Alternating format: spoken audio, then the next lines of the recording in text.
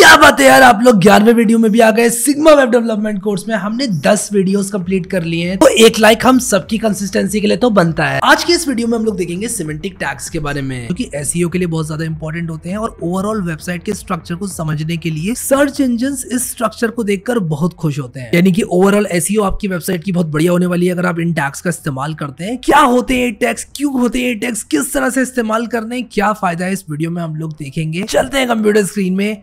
let's roll the intro.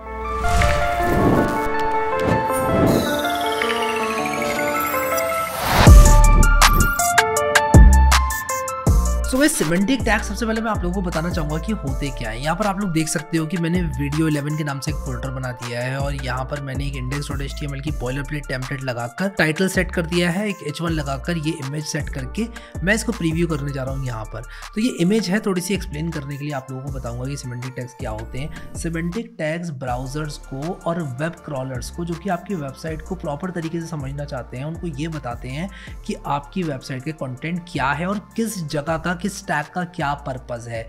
अगर आप H में सीमेंटिक टैग्स का इस्तेमाल नहीं भी करते हैं तब भी आपका काम हो जाएगा। ऐसा नहीं है कि सीमेंटिक टैग्स को अगर आप लोग इस्तेमाल नहीं करते हो तो आपकी वेबसाइट जो है अच्छी नहीं दिखेगी। आप लोग बिल्कुल अच्छी डिज़ाइनिंग कर सकते हो। लेकिन हम समझाना चाहते हैं गूगल जैसे सर्च इंजन को बिंग जैसे सर्च इंजन को अपनी वेबसाइट के बारे में। और अगर हम समझाएँगे उनको अपनी वेबसाइट के बारे में तो वो समझ पाएँगे हमारी वेबसाइट के बारे में और वो हमारी वेबसाइट को फिर रैंक करेंगे गूगल पे बिंग पे रिस्पेक्टिव सर्च इंजन पे। और हम ये चाहेंगे कि क्रॉलर्स हमारी वेबसाइट को समझ पाए और हम चाहेंगे कि जो भी हमारी वेबसाइट को समझना चाहता है, वो अच्छी तरह से समझ पाए। इसलिए कुछ स्पेशल टैग्स होते हैं, जैसे कि हेडर है नैव है मेन है आर्टिकल है फिगर है।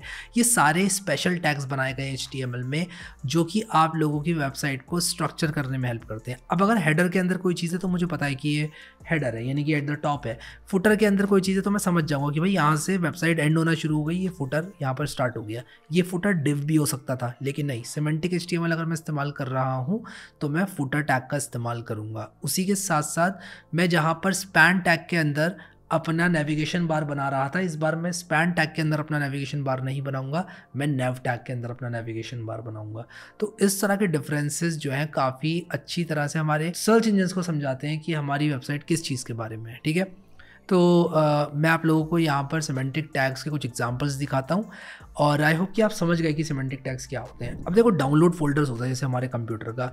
आप में से कई लोगों का डाउनलोड फोल्डर बिल्कुल ऐसा होता होगा कि जैसे पता नहीं सारी दुनिया की फाइलें उसी में आ गई हूँ।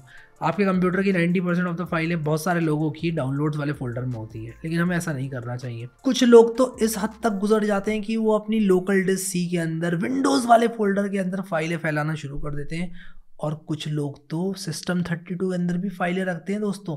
तो आप लोग अगर अपनी फाइलों को फैला देते हो अपने पूरे कंप्यूटर के अंदर तो डेफिनेटली वो एक तरह से अरेंज नहीं होती है। लेकिन अगर आप लोग अरेंज करके रखते हो फोल्डर्स में कि भाई एक फोल्डर है, उसके अंदर आपकी ये वाली फाइल्स हैं। अगर आप सीक्रेट फ़ाइल रखना चाहते हो एक फोल्डर के अंदर, आप सीक्रेट फाइल्स डाल दो। आप एक फोल्डर बना सकते हो डो नॉट ओपन दिस के नाम से।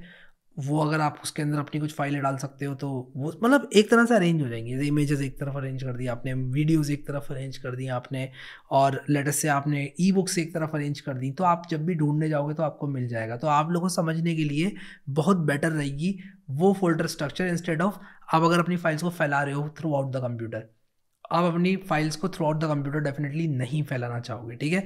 सो आई होप कि ये चीज़ आपको समझ में आ गई कि क्यों यूज़ करते हैं सेमेंटिक टैक्स को। ये हमारे एस e के लिए बहुत बढ़िया होता है। तो एस वर्ड e है, उसका इस्तेमाल मैंने अभी तक नहीं किया था but as search engine optimisation का एक बहुत अहम हिस्सा है सेमेंटिक टैक्स को यूज़ करना। तो क्या होता है? बेसिकली आपकी वेबसाइट जिस तरह से आप बना रहे हो, वैसे ही बनाते हो, बस आप कुछ स्पेशल टैग्स का इस्तेमाल करते हो। फॉर एग्ज़ाम्पल लेटर से मैं इस वेबसाइट को बना रहा हूँ, ठीक है? मैं अभी क्या करूँगा, इस इमेज को यहाँ पर कमेंट आउट कर दूँगा वट आर सेमेंटिक टैक्स इसको कमेंट आउट नहीं करूँगा। मैं यहाँ पर बेसिकली क्या करूँगा, एक नैव बार बनाऊँगा। तो मैं क्या करूँगा, सबसे पहले मैं कहूँगा कि यार ये मेरी वेबसाइट का हेडर है, एक हेडर टैग मैंने यूज़ किया।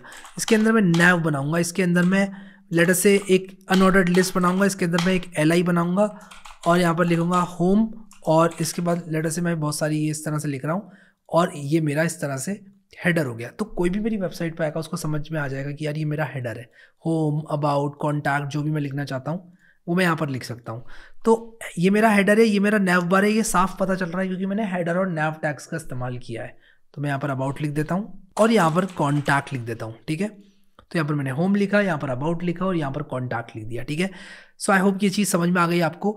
अब अगर मैं फुटर चाहता हूँ, मान लो मैं एक फुटर बनाना चाहता हूँ, यहाँ पर मेरा मेन कंटेंट आएगा, मान लो हेडर के बाद तो मैं मेन टैग का इस्तेमाल करूँगा। और इसके बाद जो मेरा फुटर है फुटर के अंदर मान लो मैं लिखता हूँ copyright C W H और यहाँ पर लिखता हूँ ऑल राइट्स रिजर्व्ड ठीक है इस तरह से मैं लिख सकता हूँ।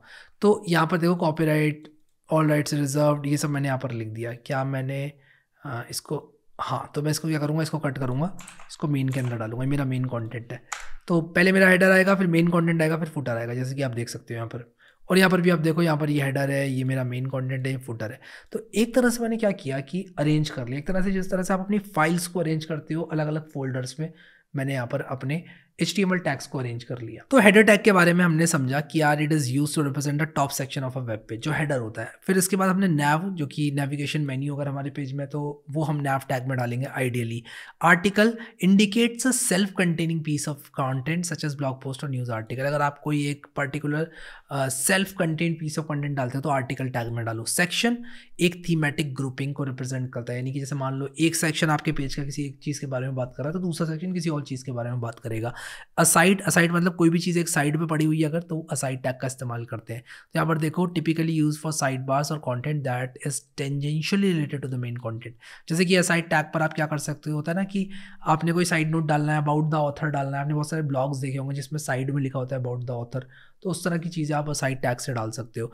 फिर इसके बाद होता है हमारे पास फुटर टैग इसके बारे में मैंने आपको बता दिया कि कॉपीराइट इन्फॉर्मेशन ये सब चीज़ें अगर आप डालना चाहते हो या फिर आप लोग अगर कुछ इंपॉर्टेंट लिंक्स डालना चाहते हो वेबसाइट के तो वो डाल सकते हो फुटर के अंदर।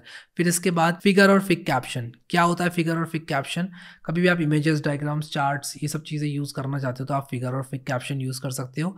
मेन के अंदर जो मेन कॉन्टेंट एरिया जैसे कि हमारे इस पेज का मेन कॉन्टेंट एरिया ये था ये हमने मेन टैग के अंदर डाला। फिर टाइम टैग भी होता है use to represent time related information ठीक है? तो आप टाइम टैग का इस्तेमाल कर सकते हो, उसके अंदर आप डेट टाइम या कुछ भी डाल सकते हो, ठीक है? सो आई होप कि ये चीज़ आपको समझ में आ गई होगी अभी, ठीक है?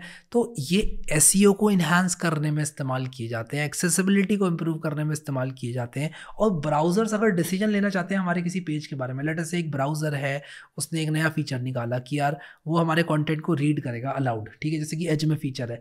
तो ब्राउज़र डिसाइड कर सकता है कि यार मैं सिर्फ़ मेन कंटेंट को रीड अलाउट करूँ अब जरा सोचो इस पेज को किसी को रीड अलाउट करना है तो वो कैसे रीड अलाउट करेगा? Code with Harry home courses tutorial आप नहीं चाहेंगे कि ऐसे रीड अलाउट किया जाए आप लोगों को। आप चाहेंगे मेन कॉन्टेंट पढ़ा जाए कि S T M L semantic tags S T M L five introduce range of semantic tags और ऐसे ऐसे जो पहले वर्जन्स थे हमारे एस टी एम एल के, उनमें सेमेंटिक टैग्स नहीं थे। सेमेंटिक टैग्स एच से इंट्रोड्यूस किए गए और एच में सिमेंटिक टैग्स को इंट्रोड्यूस करने का सबसे इंपॉर्टेंट जो रीज़न है वो यही है कि अरेंज करना चीज़ों को, ताकि जो ब्राउज़र्स हैं या फिर जो भी कंटेंट को पार्ट्स कर रहा है, जो भी हमारे इस कंटेंट के कोड को देख रहा है ब्राउज़र हो क्रॉलर हो गूगल हो बिंग हो सर्च इंजन हो, या फिर कोई भी प्रीव्यू जनरेट करना चाहता है, जैसे कि ट्विटर पर आप यूआरएल डालते हैं तो प्रीव्यू जनरेट करना चाहता है, उस तरह की चीज़ें अगर हों तो आप लोग चाहोगे कि आपके कंटेंट को अच्छी तरह से समझा जा सके, ठीक है? तो अगर आप चाहते हो आपके कंटेंट को अच्छी तरह से समझा जा सके तो आप लोग सिमेंटिक टैग्स का इस्तेमाल करोगे। यहाँ पर ये इमेज बहुत अच्छी तरह से समझा रहा है कि बिना सिमेंटिक टैग्स के आप एच अगर ऐसे लिखते तो सिमेंटिक टैग के अब आप ऐसे लिखोगे। ये जो इमेज आपको दिख रहा है, ये हेडर है, ये नैव है, ये असाइड है, किस तरह से असाइड में फेंकना है एक चीज़ को, ये सब सीएसएस से हम लोग करेंगे। कन्फ्यूज़ मत होना, ये स्टाइलिंग के लिए इस्तेमाल नहीं होता है, क्योंकि बहुत सारे लोग कन्फ्यूज़ होते हैं कि कहीं ऐसा तो नहीं कि असाइड टैग चीज़ों को असाइड करने के लिए यूज़ होता होगा। नहीं, ऐसा बिल्कुल भी नहीं है।